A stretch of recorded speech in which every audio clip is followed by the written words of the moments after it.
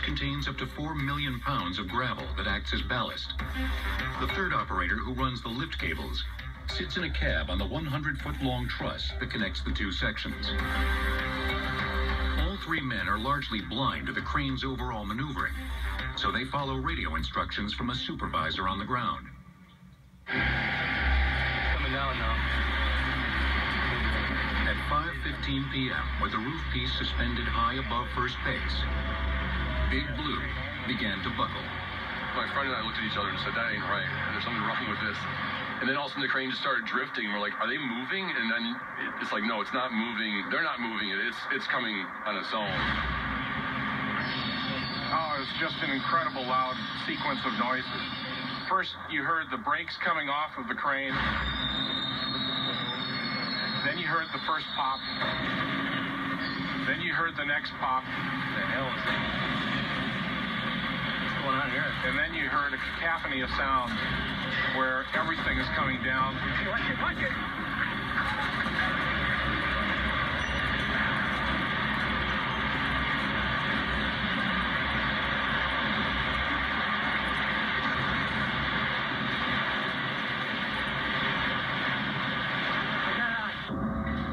Amid the rubble lay the greatest cost of the disaster.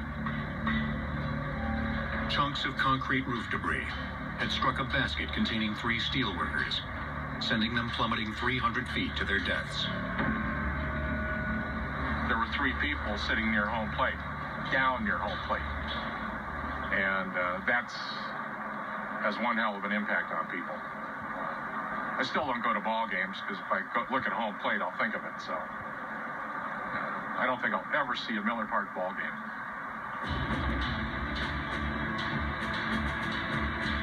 OSHA, the Occupational Safety and Health Administration, moved immediately to investigate.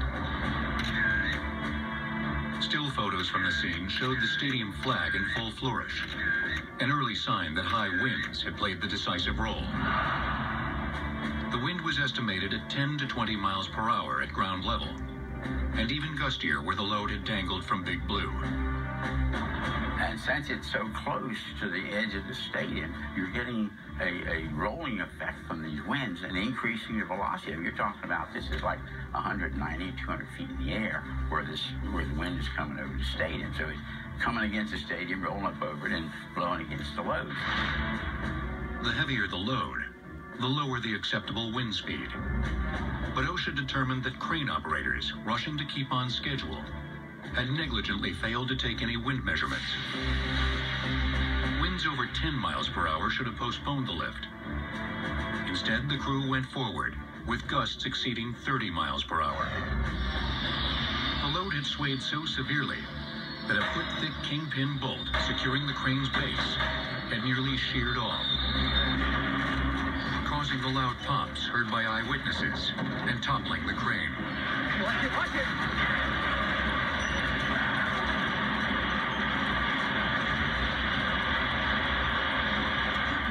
Talking Big Blue, you're talking about a big team of people working on this thing.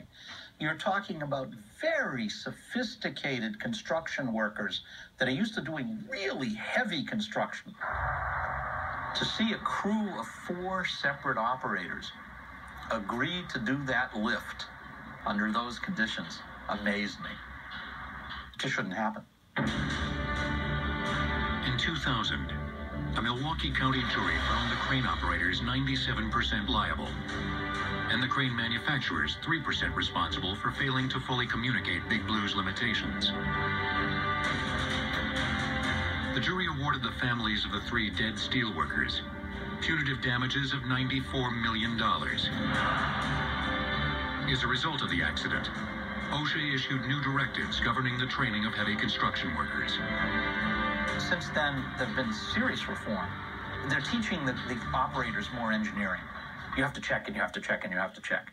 Uh, and your life depends on it. And your co workers' lives depend on it.